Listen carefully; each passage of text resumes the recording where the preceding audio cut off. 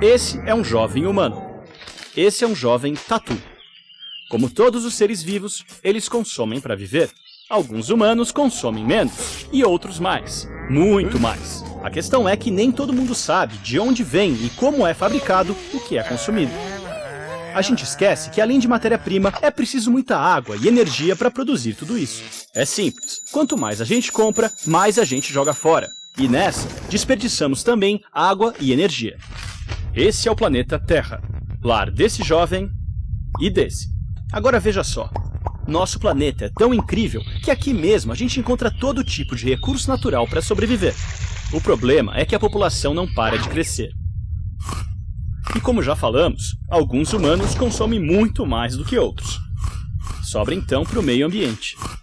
A gente gasta hoje mais recursos naturais do que a Terra tem para oferecer. Desse jeito, em 50 anos, vamos precisar de dois planetas Terra para nos sustentar. Agora, você aí conhece um outro planeta Terra?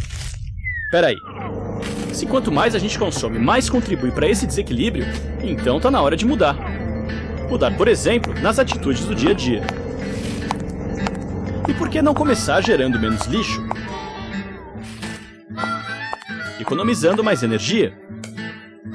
Consumindo produtos e serviços que agridem menos o meio ambiente? Escolhendo empresas que valorizam seus funcionários, que se preocupam com as comunidades da região.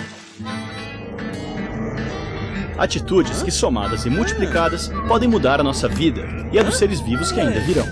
Isso é buscar a sustentabilidade. E esse é o seu papel nessa história.